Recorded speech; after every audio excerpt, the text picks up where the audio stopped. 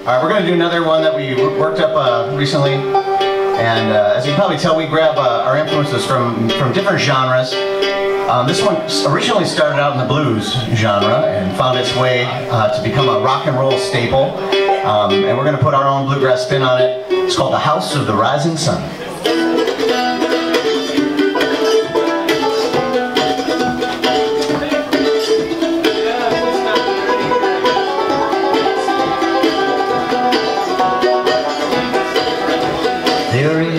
Is a house in New Orleans they call the Rising Sun, and it's been the ruin of many poor boys. And Lord, I know, I